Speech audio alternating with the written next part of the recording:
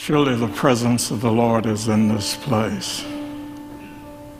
I invite you to allow those words to be your entryway into this time of prayer and meditation. In this time of quietness and introspection, this time of opening ourselves to the divine presence of God within us and all around us. In this time of connection, wherein we are all linked together in heart and in mind to create this dynamic energy that is generated when we come together under the banner of the living Spirit of God.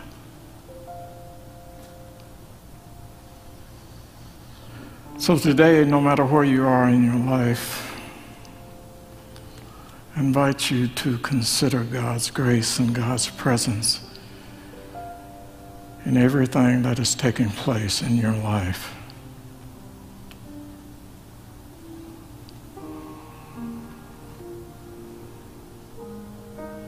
And I invite you to create a vision in your heart how you would like to transform your experiences into greater good and greater opportunities and greater possibilities.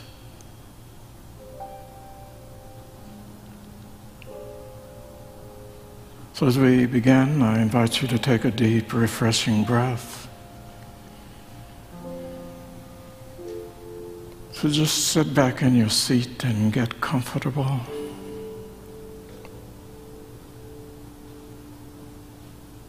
And to literally slow your mind down.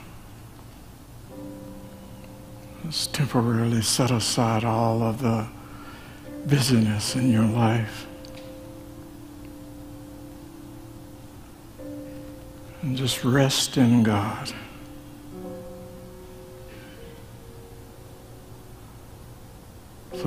Deep, refreshing breath. And then just be still.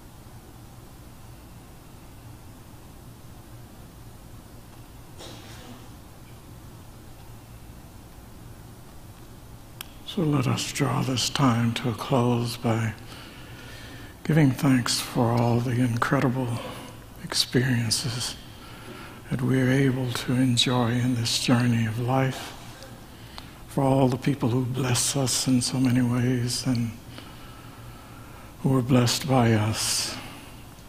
To give thanks for our amazing community and for this incredible universe within which we live and move and have our very being. We're grateful in the name and through the nature of the living Christ, and so it is. And amen. Morning again, everyone.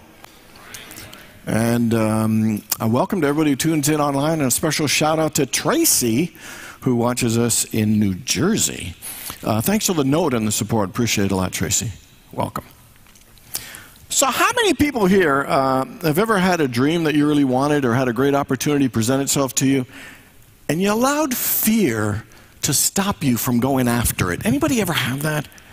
So many people here ever got a really big idea, uh, or you had, um, you know, some big vision that got you really, really excited, but it also frightened you, and you ended up deciding to settle for less and play it safe. Anybody ever play it safe?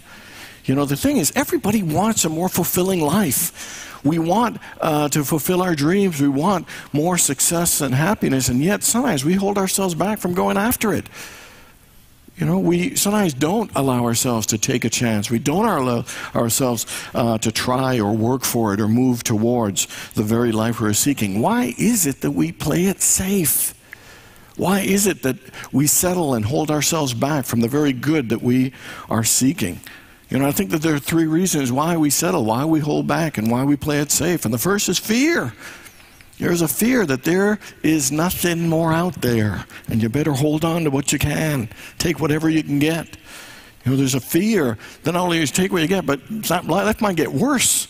So you, you, better hold on to what you have. Fear is an amazing thing that, that, that stops us, you know, from seeking the very good that we are desiring. The second thing is that sometimes we have a, a, a, an idea of our, that we're unworthy and incapable of something greater. That we're not worthy of being pre- vice president. We're not worthy of making a six or seven figure income. We're not worthy of um, someone dating us that you know might be that beautiful or that whatever. And then we think sometimes is could I really handle that much success? Could I handle that much greatness? Could I handle all the expectations? So we end up settling. And the final one is just uh, old fashioned impatience and laziness. Because sometimes, most of us, we want it fast and we would like it easy, don't we? Really. We like it not. But the truth is, most things take time and they take work. And sometimes it's like, oh, that's too hard. I'll just take this, thanks. It is amazing how often we give in.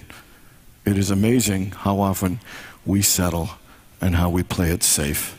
Kind of reminds me of this old guy that was playing golf. And he hit his ball into the sh- shallow pond, and as he's going to retrieve the ball, uh, there's a frog there. And to his amazement, the frog talks to him, and the frog says, Kiss me, and I will turn into a beautiful princess, and I will be all yours for a week. And the old guy looked around, he picked up the frog, and he put it in his pocket. And he kept playing golf. A couple of minutes later, the frog says, Okay, kiss me, and I will change into a beautiful princess, and I will be all yours for a whole month. Man ignored and just the offer and kept playing golf. And then finally, the, about a minute later, the frog spoke out and said, All right, kiss me, and I will turn into a beautiful princess, and I'll be yours for a whole year. Finally, the man uh, opened his pocket, looked at the frog, and said, uh, No thanks. At my age, I'd rather have a talking frog.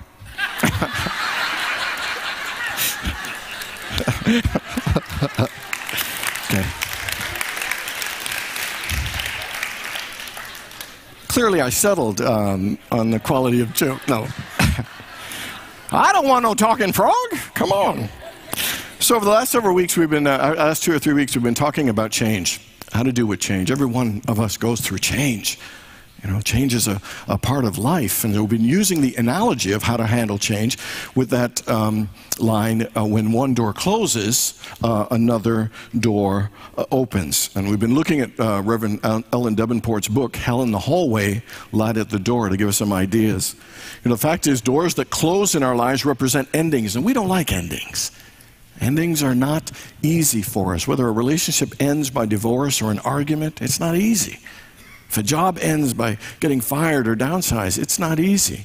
Sometimes a way of life ends for us. That maybe we move out of a neighborhood or a city that we've been in for a long time. Maybe you know, it's a serious diagnosis. Maybe um, it's an accident or an injury or bankruptcy or the death of a loved one. But life as we have known it, you know, changes so much that it was so much a part of our life, we kind of don't know who we are without it.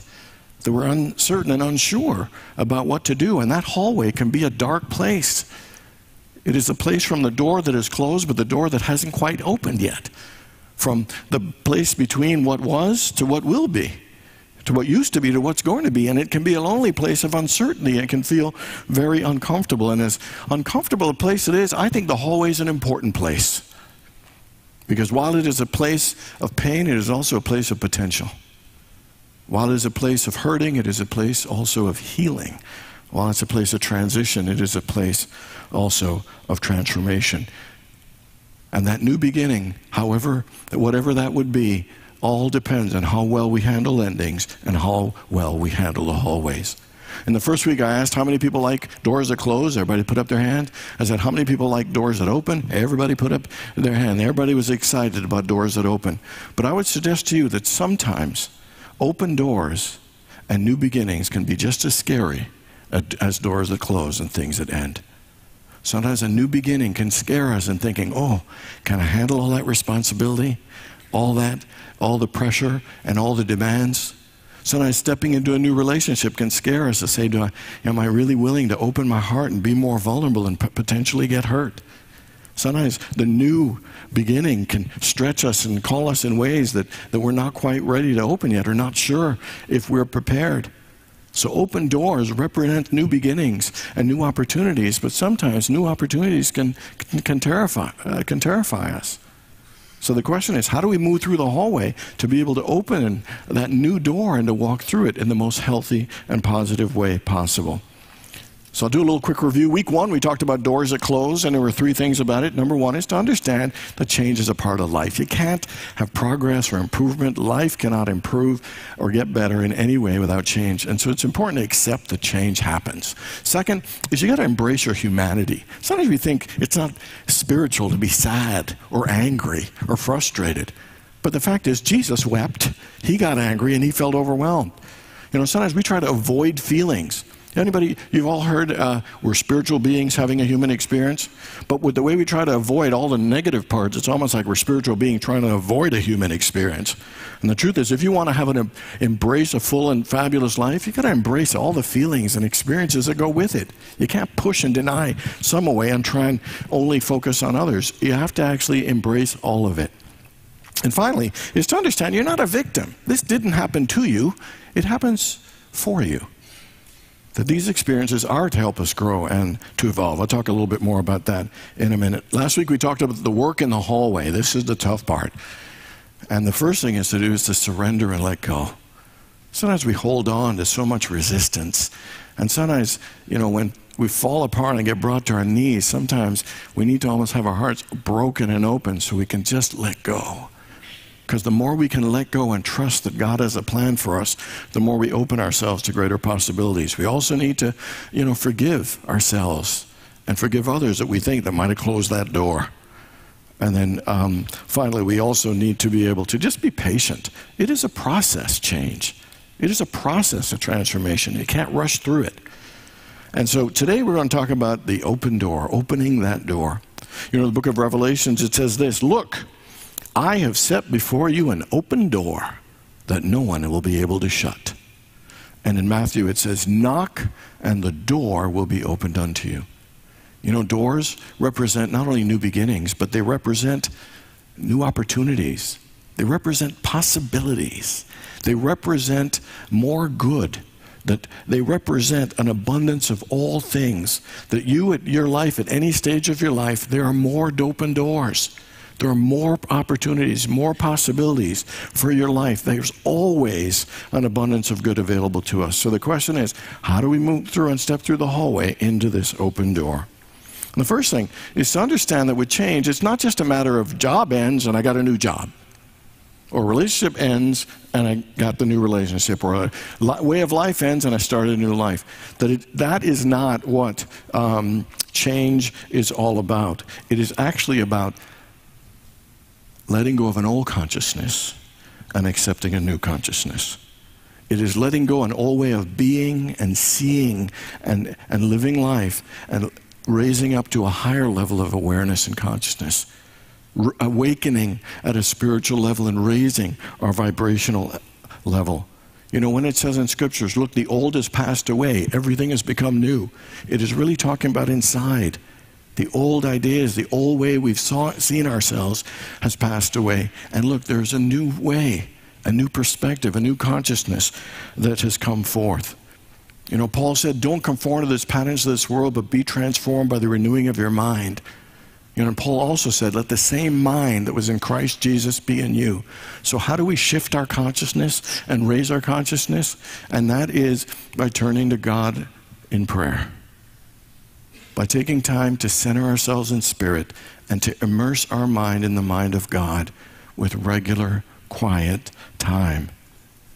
You think it's a coincidence that Jesus prayed in the morning, in the middle of the day, in the afternoon, in the evening, and at night? It's Jesus. You think you need to pray that much? And the answer is yes because we all to, to have a consciousness of god you always have to keep recentering realigning and immersing our minds in the mind of god. Paramahansa yogananda said you know having a job is important family's important friends are important money's important. There are a lot of things in life that's important.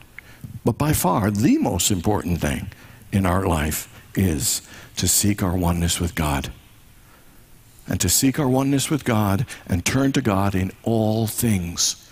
He said the most important work for us in our lives is to be seeking, centering, immersing, and aligning our hearts and minds in the mind of God. And no matter what the issue is, always keep turning back to God. You have a new goal or dream you want? First, center yourself in God. You have some problems going on in your relationship? First, center your heart in God.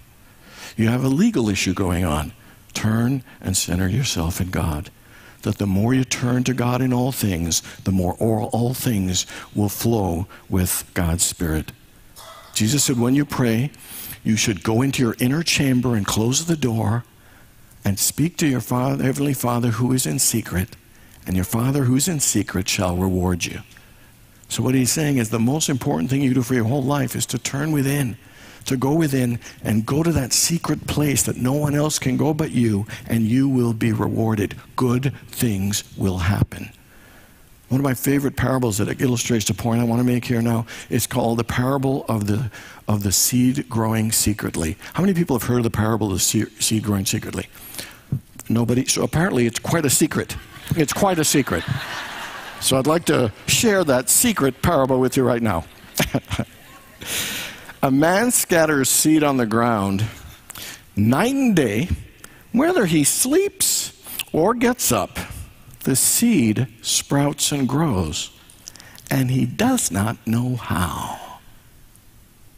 And the point I'm trying to make is, is that when you pray, pray to God, when you turn and go to that secret place, good things happen, and you don't know how.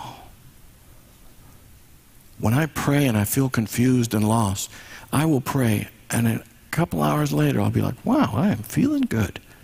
And I don't know how. You ever prayed for some guidance in your life and it came, and you don't know how? All you need to do is go to that secret, quiet place and give your heart to God, and I guarantee you, you will be rewarded. It'll sprout and grow, and you won't know how. In the same way that we don't know exactly what happens in a cocoon, we don't know what happens in a womb. Remember when Paul got blinded for those three days? We don't know what. In the tomb, we don't know what happened in there. Something, uh, something happened. And we don't need to know how, but in every case, something great was birthed. Something great came forth from that quiet place, from that place of solitude and solace. And my question for you is would you be willing to take time every day to seek and turn to God in all things and go to that quiet place and let yourself be rewarded. Let something new be birthed. Let the guidance from you come forth and to turn to God in every single thing you need. Because the most powerful thing we can do in our lives is to seek the wholeness and the source that makes all possible, because it will shift our consciousness, which will begin to change our lives. First thing is to shift your consciousness by turning and centering to God in prayer daily. Second thing is to bring forth a level of clarity and creativity about activating your desire. You know, Ellen says something really I, I love. She says, in every situation, choose powerful over pitiful no matter what's going on, instead of moaning, whining, and disliking, instead of choosing pitiful, choose powerful. You know why? Why? Because God has given us all the power to choose. Choose whom you will serve this day. It also says in Scripture, decide upon a thing and it will be established for you.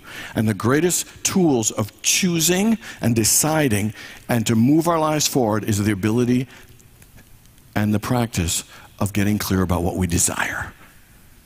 Desire is what takes us from a desire for a better love, a desire for more love, a desire for more success is the thing that what moves our lives forward. Desire, you know, drives us. But it brings us clarity and it also opens the, the channels of creativity. I love desire because it focuses, it awakens, it engages, and it channels our spiritual creative energies. So the question is what do you want? You know, I think most of us know clearly what we don't want. So, what do you want? I don't know. But what do you want? I don't know. And the fact is, the most valuable time we could use is to take time to get clear on what it is we desire, what it is that we want. So, simple question What do you want, and what's your highest desire for your relationship? Or relationships? What is your highest desire for your health? What is your highest desire for your career? Your highest desire for your finances? Desires activate and begin to engage and let the universal forces begin to move. It's a powerful thing. And the other thing she says is not just your desire of the thing that you want, but also we should set our intention and get our desire clear of how we want to feel. There are all kinds of things we could feel. She says you should write down four things, besides your four goals in those areas, write down four feelings you want to feel. So, what would you like to feel every day? Happy, enthusiastic, positive, playful, calm, relaxed, attractive, uh, sexy, confident, grateful. There are all kinds of things you can feel. The question is, what is your intention to feel every day? What would be a great way for you to wake up and feel, and for you to feel throughout your day, in your relationship, in your work, in your life? It's all available, but you got to get clear with your intention and clear with your desire. It's a lot easier than we think.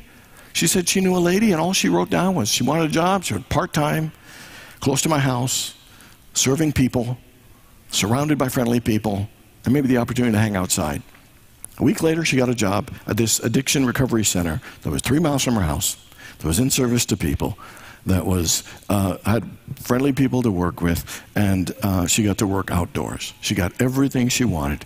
It is amazing, really, really amazing. I have no idea what that is. The emergency broadcast system. Okay. Okay. I'm going to let my staff handle that and I'm going to continue on.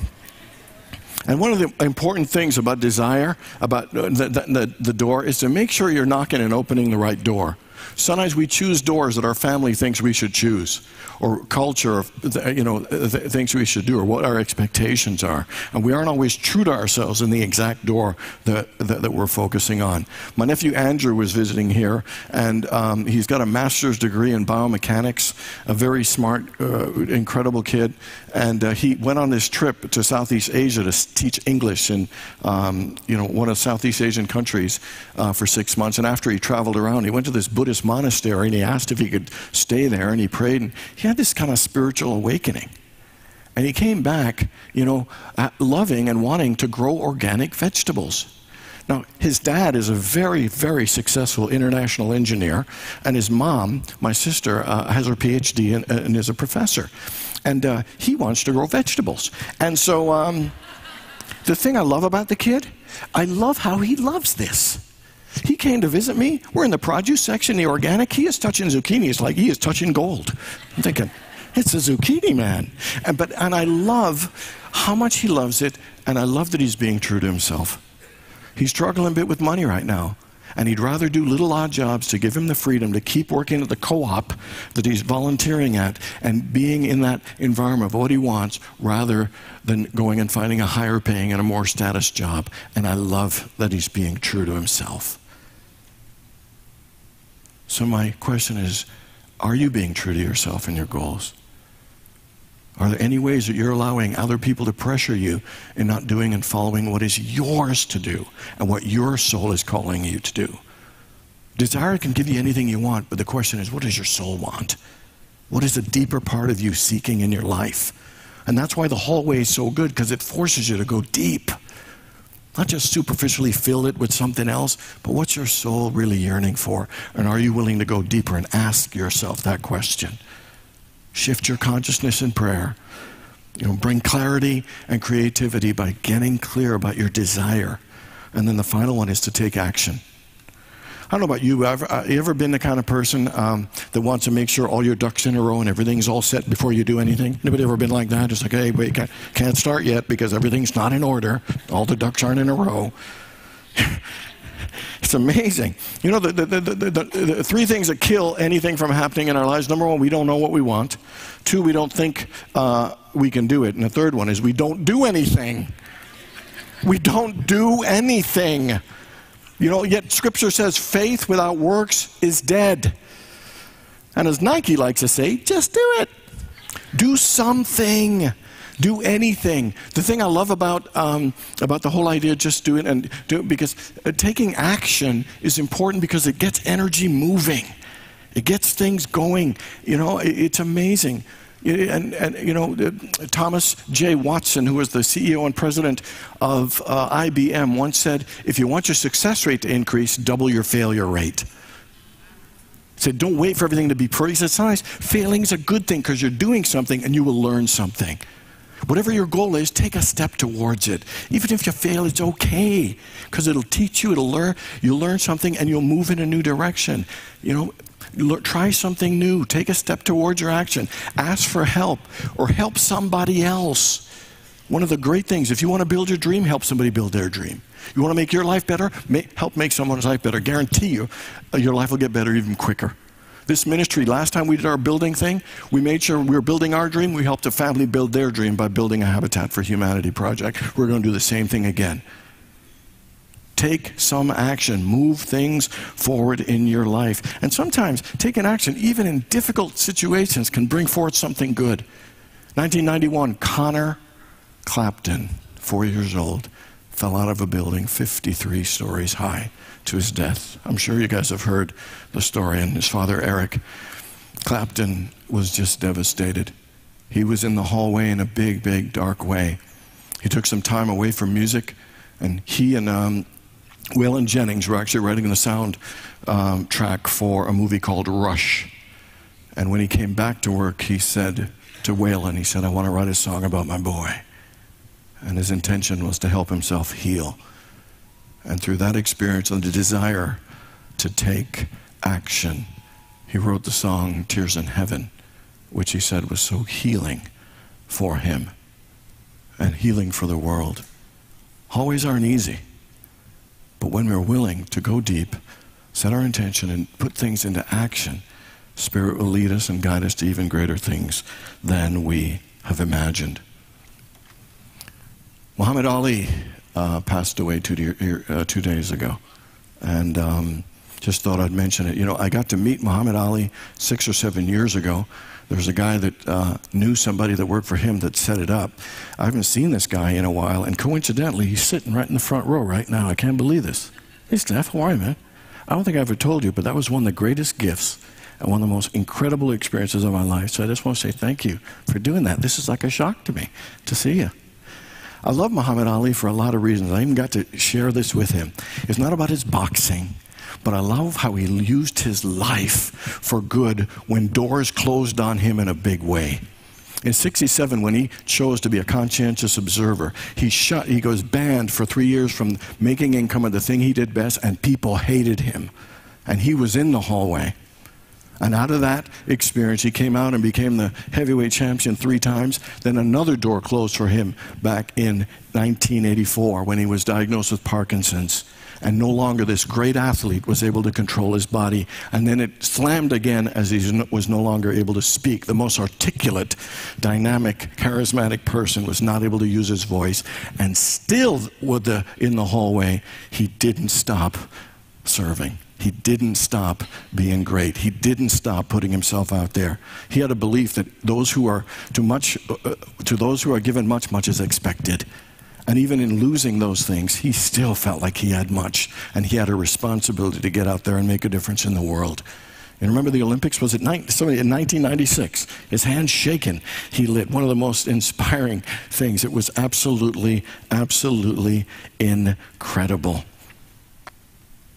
And the thing, my favorite thing about him, um, and I've, I've learned a little more over the last few days, in 1964 he became uh, a Muslim. I remember, um, and then in 1974 he joined the Sunni Muslims. But I didn't know this. In 2005, he actually uh, followed the path of Sufism which is the mystical, spiritual aspect, the non religious aspect um, of Islam. And the thing I loved the most about him was how his commitment to his spiritual life.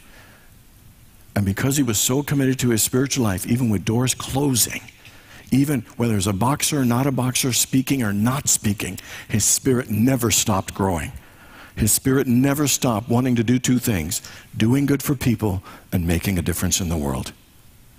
Somebody said of him, the mayor of Louisville, Kentucky, said, Muhammad Ali was about spirituality, compassion, and kindness. And you look at the trajectory of his life, he was once hated. He was loved, hated, and so beloved, and one of the most famous people on the planet. To me, is that amazing? And someone said, So, what do you think Ali would think of this? Well, he'd like it. But what he'd like even more is to ask yourself the question is what are you going to do to make this world a better place? What are you going to do to be good to people around you? What are you going to do that is yours to do? I really believe that us being the best we can be is our responsibility to God, to humanity, and to the world. So, who is the best that you are being called to be? And are willing to walk through that door and take the action and just do it? because I guarantee you it will lift you to a higher level than you can imagine. There are opportunities available to all of us, there are possibilities for all of us. The question is are you willing to open and walk through that door? God bless you all.